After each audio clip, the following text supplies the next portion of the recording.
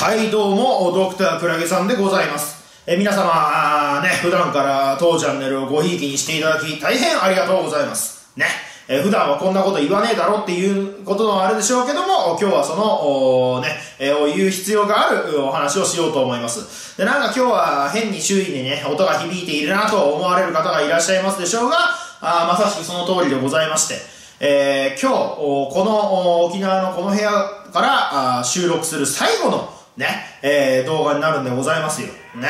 感慨深いな。この部屋で収録を始めた時は登録者が確か400人もいなかった。それがもう1800人になっておりますからね。ね、え2年間で、えーね、1400人以上は増えたことになります。まあ、全然それ増殖、増、ね、増殖じゃない、増加ペースとしては早くはないんですけれども、まあ、それでもね、えーこんな自分の好きなことを語っている、しかも俺独力でやってきたようなチャンネルでね、それができたことは、一人皆様方のね、おかげでございます。ございますちなみに、えー再生数の、ね、YouTube のアナリティクスというのは、再生の数のうち、えーチャンネル登録してる方としてない方の比率が出ますけれども、全員が登録してくれると余裕で1万人超えますので、えー登録してない方はぜひぜひチャンネル登録をよろしくお願いします。たまにはこういうこと言っとかねえとさ、あのいけませんからな。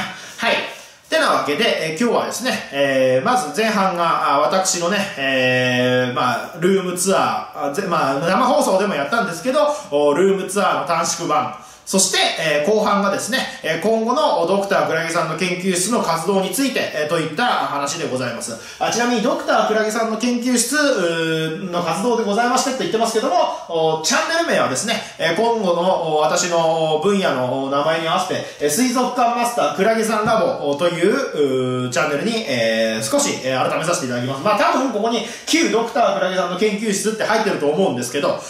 まあ、あそんな感じで、えー水族館のね、まあ、ね、福山大学の、ね、アクアリウム科学っていうのの部門もある程度絡むので、まあせっかくなんでね、それで採用されましたから、水族館というものについてのお話もね、このチャンネルで取り扱っていけたらと思います。はい。で、まあ、ドクタークラゲさんの研究室、今後もよろしくお願いしたいんですがね、さて、それでは、あね、もう、片付き切ったスタジオをちょっと見てみますか。はい、えー、生放送でも言った何を載せるのかよくわかんないこのカウンターでね、2年間収録してまいりました。もう下はひどいありさまです。今片付けは8割9割終わったんですが、まだ微妙に片付いていないといった状況です。ね、えこのカウンター、横にはさ、この衣服のクローゼットがあって、上にはこの釣り戸棚があってという、本当に、ここで何をするのかよくわからない。ここであのカクテル、ね、食事を置くにはちょっとスペースがね、ここ幅が足りねえし、封筒1枚分ぐらいしかないしね、うん、一体本当にここで何をするのだろうとお気になるようなところです。そして、ここに私の寝室がございました。ね、えーここは、あね、えーもう収録場所のすぐそばがもう寝られるようになっているという、まあ収録してすぐ寝ることはほとんどございませんでしたがね。はい。で、えー生放送でも申し上げましたが、この部屋は、あね、えーこの字型のですね、ワンルームになっておりまして、えそこがキッチンなんですけど、すべて、えー筒抜けの冷房暖房効率の非常に悪い部屋でございました。間取りに騙されてですね、20畳のワンルームとかいう面白い間取りに騙されて、えー借りてみましたが、えーね、冷暖房効率悪いし、あと、沖縄で珍しく1階なので湿、ね、湿気が溜まって、しかも虫が多いという、ね、えーお家賃は非常に、えーお安いいい物件でございましたが、ちょっとね、その分の住み心地は、若干ね、えー大変なところがございました。でその廊下を越えますとね、玄関があったんでございます。ね。えドクタークラゲさんの研究者の一日でですね、えクラゲさんが出ていくところとかを撮りましたけれども、で玄関の奥に、え前室みたいなものがあって、そこに、えダイビング機材とかを干すことができたんですね。ただ本当にカタツムリが多くて、割と結局、風呂場とかにね、干したりしていました。はい。で、まあ、ここ、ね、えクラゲさんがしょっちゅうう、料理の動画を、動画じゃねえや、写真をコミュニティに投稿しておりますが、キッチンです。今はもう冷蔵庫も、電子レンジもすべて、えー渡す人に渡してしまったのでね、えーガラッとしていますけれども、ここで、えー幾多の料理が生まれました。ね、クラゲさんが料理をしている様子も研究者の一日で、えー出たと思います。そしてですね、映っちゃいけねえもん映ってないよな。はい、えーこちらが、私の庭でございますね。これ、えー、なんだ、やっぱり研究者の一日、そればっかりだな。うん、で、えー、水をやっていたと思いますが、パイナップルがあります。で、このパイナップル、実はですね、今もう、見えますかね。ちょっと上が赤っぽくなっていると思うんですけれども、花をつけつつあるんですよ。ね。パイナップルの花っていうのは、あいわゆるね、だから皆さんが食べているパイナップル、あれは、まあ、いわゆるあの芯の部分に、えー、集合化といってですね、えー、集合化であってたかな？違ったら書いておきます。あの芯の部分に、えー、たくさんのね、花が、あこう、なんつうの、密集してついているような、そういう花なんですよね。で、それが、あ実、ね、実になって、ああいう独特の形の実ができるんです、パイナップル。実になった時の様子は、まあ、名護パイナップルパークとかでご覧いただけるんですけどね。で、そんな話をベラベラ喋ってる必要 余裕はないんですが、台風の養生テープがそのままですね。で、えー、あちらには、あもう庭はだいぶ、草を抜いてね、えー、手入れいたしました。去る前ですからね。そしてあちらには、あね、えー、もう高さ2.5メートルぐらいになってるバナナが植わっております。あの、ちょっと、ちょっと冬の間なんで、葉っぱの勢いがないんですけど、あれ、春になったらまた、あもう、もうこの辺は、まあ、もう春ですけれども、長いね、えー、葉っぱをたくさん出してくれるでしょう。さあそんなあドクタークラゲさんの研究室の住居兼スタジオをね皆様にご覧いただいたところで、えー、後半ですが今後のドクタークラゲさんの研究室、まあ、水族館マスタークラゲさんラボ含めてその活動の大まかなところをね皆様にお伝えしたいと思います。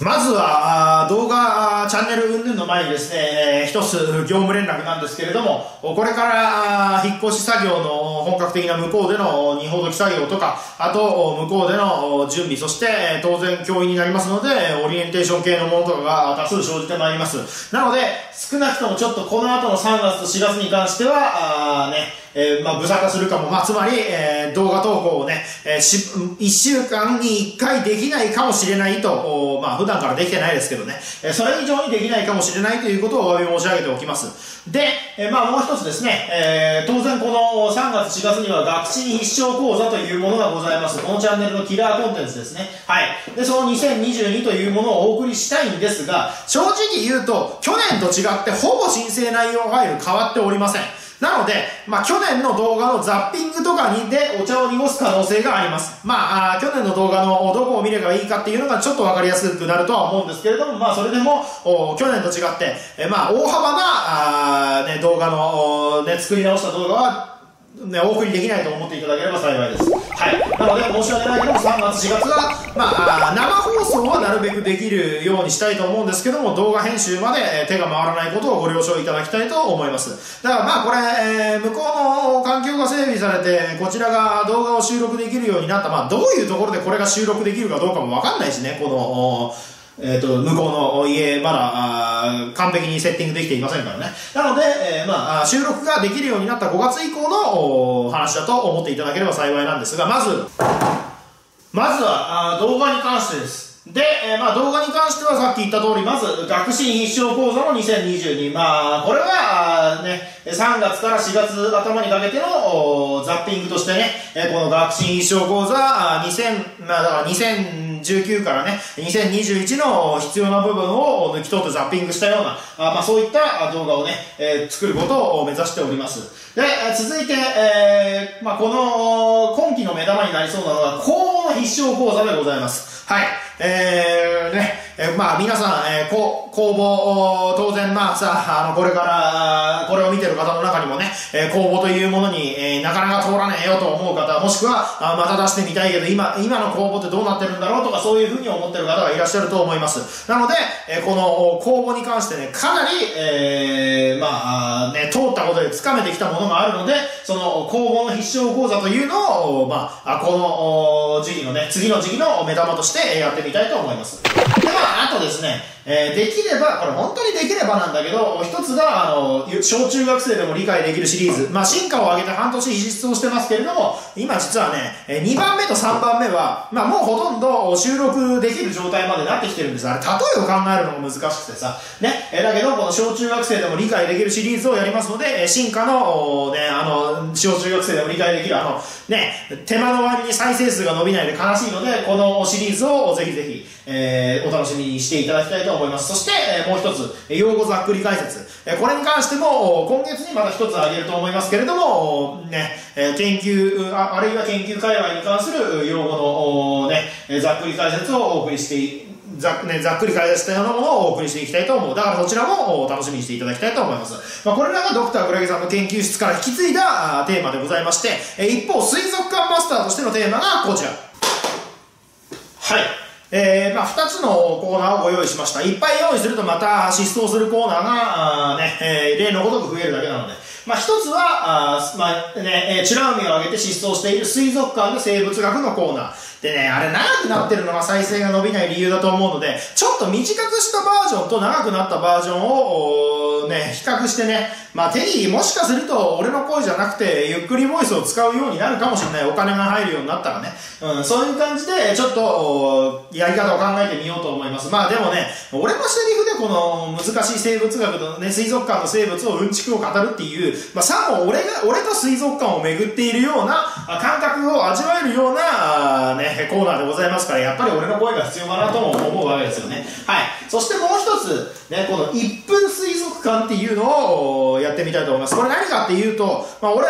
日本で今、122巻の水族館を回ってるんですよ。で、多分、えー、来年に125巻ぐらいまで増えてると思うんですよね。はい。えこれに関しては、あの、今、休業したとこは含まれてないんですけれども、まあ、そんな、あね、水族館を、各水族館1分で語るという、そういうコーナーをやってみたいと思う。サムネももう作ってるんですけど、なかなかね、えー、音声素材とかは見つからないので、えこれをあまりやれていないんですが、あまあ、あね、5月以降に、5月以降ね、はい、5月以降に、この、1分水族館っていうのを、やってね、日本全国の水族館を紹介する語り部に参入できたらいいと思う。まあ、水族館 YouTuber 多少いるんですけど、やっぱり、えー、そんなに、えー、大きなコンテンツにはなっていない。だからまあ、私が参入する余地はバリバリバリにあると思うんですよ。まあ、Twitter とか見てるとわかるけど、日本には水族館教が大勢いる。しかしまあ、その水族館教の中で一番、まあ、生物学ね、生物の世界に詳しいのは私だからな。間違いなくそれは、あこういう動画でできると思うんだよね。はい、てな感じで、えー、まあ、動画の構想でございました。まあ、動画とくれば続いての、まあ、皆様にお伝えする、ね、えー、コンテンツがこちらでございまして、生放送だな。はい。えー、最近やっと YouTube ライブにも慣れてきてね、毎回20人近くの視聴者様を獲得するドクター・クラゲさんのお人気コーナー生放送でございますけれども、まあ、1000人のチャンネルで20人とか、1000人じゃない、2000人弱のチャンネルで20人ぐらい毎回来てくれるって結構引きが強いと思うんですけどもね、引きが強いって引きが高いと思うんですよ。大変ありがたい話なんですが、まあ、で、今回、えー、沖縄にいる時は結構ね、えー、まあ、なんだかんだ言って休みというか、休日にする日も自由に選べたし、割と好き勝手に、えー、日数を設定できたんで、まあ、日曜日の夜だけやってましたけれども、次のところではね、明確に土曜日、日曜日が、まあ、出勤日とね、えー、明確に分けられることになります。なので、そうなった時に、えー、生放送をね、家からお送りできる土曜、日曜のね、えー、生放送をね、しっかりとお送りしたいと思います。ただまあ、この辺は不定期になるかもしれませんけれども、そこはまあ、大学のね、都合とか、いろいろ変わってきます。まだ分かってないことが大勢、大勢とかたくさんあるのでね、そこはご了承いただきたいんですが、まあ、アンケート、アンケートを取りましたけど、そのアンケート結果に基づいて、とりあえず、土曜日に、えー、論文道場というのをやってみたいと思います。これは何かっていうと、まあ、あクラゲさんがね、えー、論文を書いて集中するだけのコーナーなのでございますが、まあ、つまりこれはすなわち、え、皆さんにね、積み残しの作業、まあ、それはさ、あの、ね、パソコン、論文だけじゃなかったり、ね、えー、お仕事とかさ、あそれかね、家にも持ち帰るお仕事とかさ、あるいは、あなんだろうな、こう、家事でもいいし、なんかいろいろな、溜めてる作業があるでしょそれに、えー、集中して行いましょうっていう、その、一緒に集中しませんかというただの自己満の集中タイム。ね、えそういったものを設けてみたいと思います。論文道場ね。これを毎週土曜日にね、えー、まあ2時間、あクラゲさんの集中力が持たなくなったら終わりっていうふうにしたいんだけど、まあそれはともかく2時間ぐらい、まあ、集中して、えー、作業、皆さんで一緒に作業をしましょうという、コーナーを設けたいと思います。そして、まあ、土曜日まで論文書きたくねえよっていう方が多かったら平日に持ってくるかもしれませんが、その場合は、まあ、まあ配信は、私自身の配信はできないかもしれませんねと。まあそう思うんですけどね。はい。で、日曜日の、まあ夜になるかな。はい。えー、まあこっちがいつも通り、えー、生放送ということで何か企画を持ってきて、えー、クラゲさんと視聴者様で、えー、おしゃべりをするという、そういうコーナーにだ俺が毎週日曜日にやってるね、えー、そういうコーナーにさせていただきたいと思います。まあ、だからあ、まだまだ決まってないことが多いけれども、生放送のね、回数を増やして、まあ、これは動画を作れない時のただの、ね、生放送っていうのは、まあ、これゲーム実況者のあの生放送とか見てればわかるけど、凝った動画が作れない時に生放送が増えるんですよ。ね、みんなね。うん。まあ、そうじゃない方もいるけどね。まあ、生放送起こってる方もいるから、そんな、あの、ジッパ人からに言っちゃいけないけど、この時間がない時は、このなんとかね、生放送だけでもできれば、皆さんに顔をお見せできればと思っています。そんな感じで、えー、ドクタークラゲさんの研究室、または水族館マスタークラゲさんラボ、ね、水族館からの配信とかできるかなって思ったんだけど、ちょっとね、やっぱお客様もいらっしゃるし、えー、そう、水族館からの生配信っていうのは、本当貸し切りぐらいの状態じゃないと厳しいんですよ。あと、裏も公開できないですしね。だからまあ、水族館の方のインタビューぐらいなら動画で放送できるかもしれませんけれども、ちょっと、こまあ、相変わらず生放送は、あたまにゲストが来て、他はドクタークラゲさんが、あ個人的に自己満でやると。まあ、そのように思っていただければ幸いです。で、最後になんですが、これはまだ構想段階なんですけど、これ、まあ、私の今のチャンネルはそんなもんをやっても全くどうしようもないので、えー、こういったものも一切やらず、なんならあの収益もまだ受け取らずに結局ね、えー、貯めている状態のドクタークラゲさんの研究室なんですが、まあ、4月以降、どのようになるかは分かりません。どのようになるかは分かりませんが、あもしかすると、許可が、上の許可が出れば、あこのメンバーシップ機能とかスーパーチャット機能を解禁できればなと思ってます。このスーパーチャット機能っていうのは、あまあ、いわゆる投げ銭機能といって皆さん知ってると思いますけどね、あの生放送の時とかに、えー、チャリンと音がすることがあると思いますけれども、それで、えー、まあ、あなんだろうな、あれはクレジットカードなのかな？わかりませんけれども、ね、えー、視聴、ね、えっ、ー、と、視聴者ね、視聴者様が、あ配信者にね、えー、いくらかのお小遣いを差し上げられるという、そういうコーナーになっております。確か、あ投げた額の7割しか来ないんだけどね、3割 Google に座れるらしいから。で、メンバーシップっていうのは、あ月々、えー、いくらだったかな？後で書いておきますけれども、そのいくらかで、えー、このチャンネルのメンバーというものになれて、で、えー、メンバーになると、まあ、その配信者、個人個人で違いますが、いろいろな特典に優遇特典が受けられるという、そのような機能になっております。で、まあ、じゃあ、ドクタークラゲさんの研究室がこんなものを設定して何になるのかっていう話です。まあ、これ生放送でもちょっと言ったんですけど、俺は一つ考えているのはこれです。クラウドファンディング。はい。まあ、もう皆さん、えっ、ー、と、クラウドファンディングっていうのはどういうものかっていうのはご存知だと思います。まあ、俺のドクタークラゲさんの研究室でもこういうクラウドファンディングに協力をみたいな動画を上げましたのでね。まあ、端的に言えば、市政の方から研究の資金を募るという、まあ、研究に限らずね、何か事業をするときの資金を募るという、そういったようなあ企画でございます。はい。そのクラウドファンディングが、あ常時この YouTube でできないかと私は考えているんです。はい。それは何かといえば、ね、えー、このメンバーシップの分とか、スーパーチャットの投げ銭とか、そういったもので研究資金を稼ぐことができないかとちょっと考えているんですよね。はい。で、もちろん、この研究資金を稼いで、クラウドファンディング、ね、という名の、まあ、こういったようなものに、ご協力いただいた方には、まあ、いろいろな特典を用意したいと思います。まあ、代表的なのは、ね、え、論文の謝辞に、え、名前が載るという。